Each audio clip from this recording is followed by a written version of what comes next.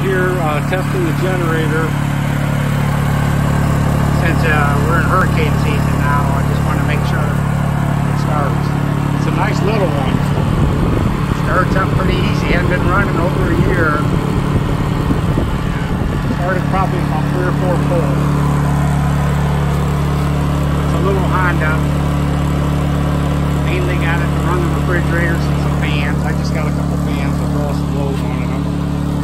probably plug in